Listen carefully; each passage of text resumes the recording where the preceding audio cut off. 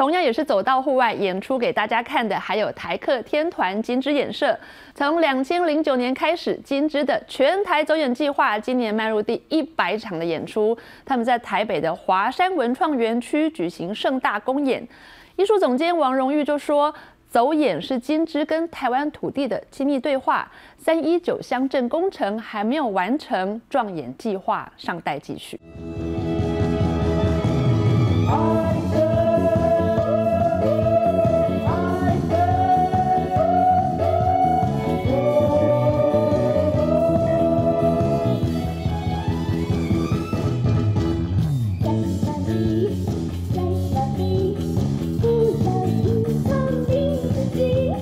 二十一年主打经典台味歌舞剧的金枝演社，二零零九年开始投入全台免费走演，如今迈入一百场之际，在华山文创园区线上经典作《可爱冤仇人》。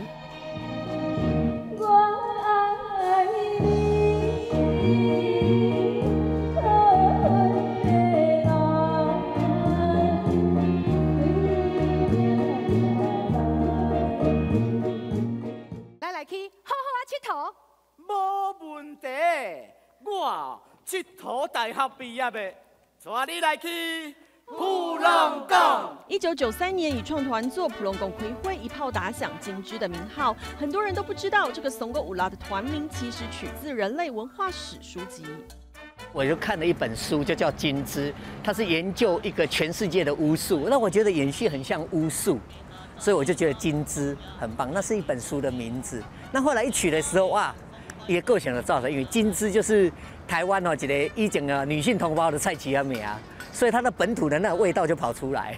你应该就辛苦诶。不会啦，A A 啦。啊？哦哦，本来 A 啦。创作取材自台湾土地，金枝的表演就和团名一样，有着浓厚的乡土味。而二零零九年启动的全台走演计划，在王荣玉的心中是金枝与台湾土地的亲密对话，也是文化种子的散播。很像种子一样，散播在台湾这片土地上。什么时候开花结果你不知道，但是你没有撒种子就不会有。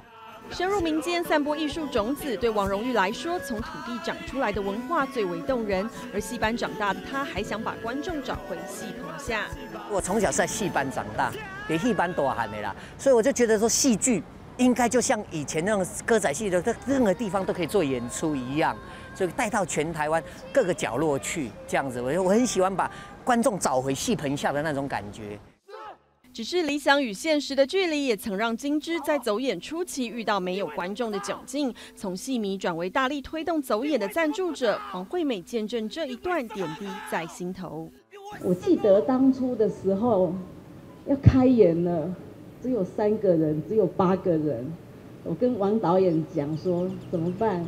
三个人、八个人怎么演？他说继续演，照常演。结果呢，到最后的时候。这个场居然有两三百个人，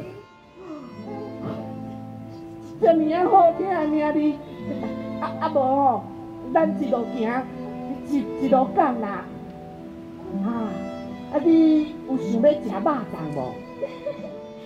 万里长征全台走演，金枝演社三一九乡镇的工程未完待续，也期盼各界能够共襄盛举，让更多人共享戏棚下的单纯幸福。